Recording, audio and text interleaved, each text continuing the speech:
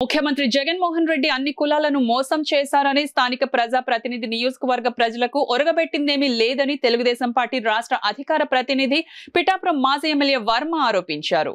పిఠాపురం మండలం రాపర్తి గ్రామానికి చెందిన సుమారు వంద మంది రెడ్డి కులస్తులు వైసీపీ నుండి తెలుగుదేశం పార్టీలోకి మాజీ ఎమ్మెల్యే వర్మ సమక్షంలో చేరారు.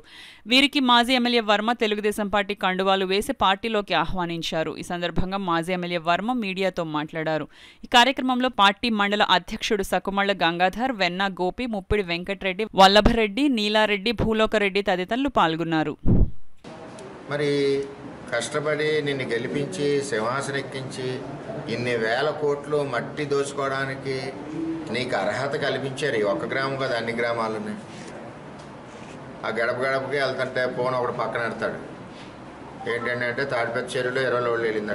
డబ్బు మరి పద్దెనిమిది రోజులకి ఇచ్చాడట.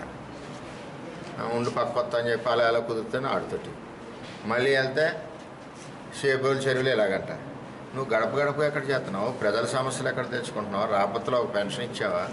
ఒక అమ్మఒడి ఇచ్చావా? ఎక్కడ బెల్ట్ షాప్లో అమ్ముతున్నావు? నువ్వు బెల్ట్ షాప్కి ఎంత కమిషన్ కొడుతున్నావు బాటిల్కి?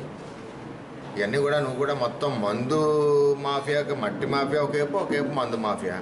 రెండు కలిసి నడిపిస్తూ కోట్లు దోచుకుంటున్నావు. ఏం ప్రజలు కనపడరా? ఓటు తీసుకున్నప్పుడు ఉన్న బుద్ధి ఇప్పుడు లేదా? అప్పుడున్న వినయం ఇలాగ ఇలాగ ఇలాగన్న వినయం ఇప్పుడు లేదా? నీకు పవర్ ఇచ్చేసరికి ప్రజలకి. మేమున్నాం మేము ఎప్పుడూ లేదా. ప్రతిపక్షంలో ఉన్న గ్రామం వంద సార్లు వెళ్ళాం ప్రతి గ్రామం. వంద సార్లు. సమస్యలు. ఇవాళ కాసుకోలేకపోతున్నాం నిన్ను. నీ దోపిడీని మేము కాయలేకపోతున్నాం ఇరవై నాలుగు గంటలు. అటువంటి గ్రామం నుంచి ఈవేళ వంద మంది వైఎస్ఆర్ పార్టీని వీడి తెలుగుదేశం పార్టీలోకి రావడం చాలా సంతోషం. ఇవన్నీ గ్రామాలు కూడా దంతమూరు ఎల్దుర్తి తిమ్మాపురం రాయవరం కొత్తూరు రాపత్తి ఈ ఈ అన్ని గ్రామాలు కూడా మా సొంత కుటుంబం. నేను అదే గ్రామంలో చదువుకున్నాను. మేము ఉన్నంచేపు ఆ గ్రామాన్ని కూడా ఏ పని అంటే ఆ పని చేసాం రాబోయే రోజుల్లో కూడా ఆ గ్రామానికి అండగా ఉంటాం.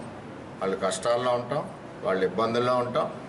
అవి ఏమన్నాయి అవన్నీ కూడా పూర్తి చేస్తామని తెలియజేసుకుంటూ మరి వేళ వచ్చిన వారిని అందరిని కూడా మనస్ఫూర్తిగా ఆహ్వానిస్తున్నాం.